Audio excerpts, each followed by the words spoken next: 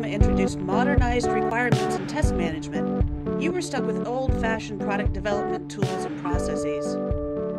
These might have worked for a couple of kids collaborating in their garage, but the problems we're solving in the 21st century are more complex than that.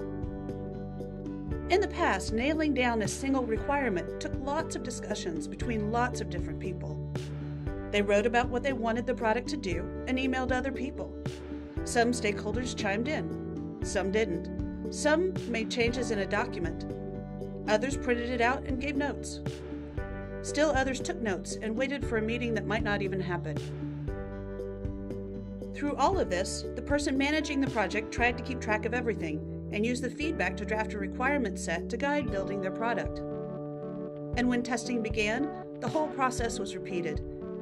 It was hard to do and easy for things to slip through the cracks. JAMA helps you deliver products faster and more efficiently. With JAMA, all of this project knowledge, the collaboration, reviews, conversations, changes, everything is in a single system of record and the testing that demonstrates whether the product satisfies the requirements is all there, connected and traceable. JAMA breaks down huge Word or Excel documents into smaller pieces we call items. For example, instead of one document with thousands of requirements, each requirement is a separate item.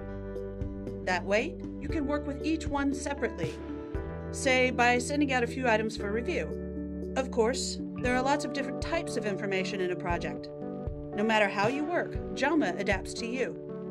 Your organization's JAMA administrator configures your items and project structure to match your business processes. Go to your JAMA URL using any modern browser to log in. Your home page provides a quick view of what you're working on. When you open a project, you'll see a dashboard with high level information about the project's progress. The Explorer tree gives you access to all the parts of the project. There are two other views you can use, Reading and List. Click View and switch between them using these icons.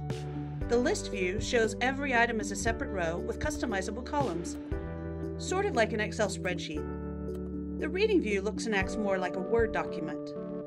You can also search and filter to find items.